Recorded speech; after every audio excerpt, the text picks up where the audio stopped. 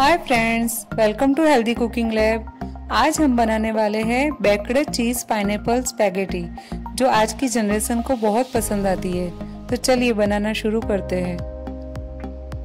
यहाँ मैंने एक पैन गरम रखा है, जिसमें मैंने एक टेबलस्पून घी डाला है। आप चाहो तो बटर भी डाल सकते हो।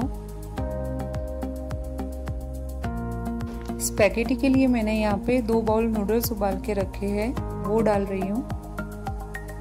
नूडल्स को हम दो मिनट के लिए हाई फ्लेम पर पकाते हुए हिलाएँगे, ताकि वो चिपके हुए ना रहे।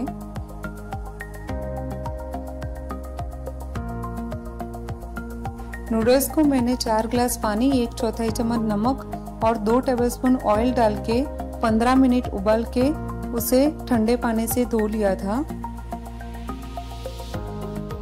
अब मैं इसमें व्हाइट सॉस डाल रही हूँ। व्हाइट सॉस की रेसिपी मैंने डिस्क्रिप्शन बॉक्स में दी हुई है।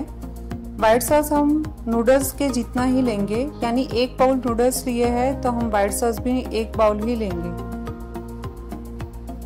अब इसको अच्छे से हिलाएँगे,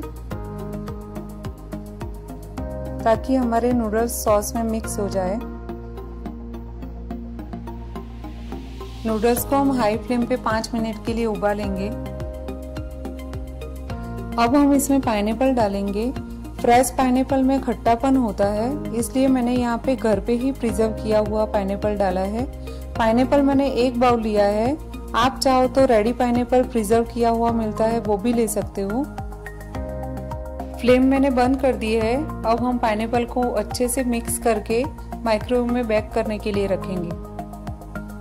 बेक करने से पहले हम इसमें चीज़ ग्रेट करके डालेंगे।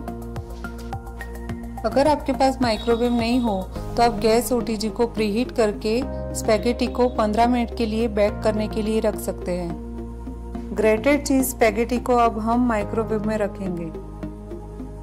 माइक्रोवेव को मैंने 180 डिग्री सेल्सियस पे प्रीहीट कर लिया था। अब हमें इसे कॉम्बिनेशन के सेकंड मोड पे चार मिनट के लिए होने देना है। तो तैयार है हमारी चीज़ पाइनएप्पल स्पैगेटी अगर आपको पाइनएप्पल प्रिजर्व करने की वीडियो चाहिए तो आप कमेंट बॉक्स में बता सकते हो। अगर आपको मेरी रेसिपी पसंद आई हो तो मेरी वीडियो को लाइक करें चैनल को सब्सक्राइब करें। मेरी ऐसी और वीडियो सबसे पहले देखने के लिए नीचे दिए गए बेल आइकन को प्रेस करें।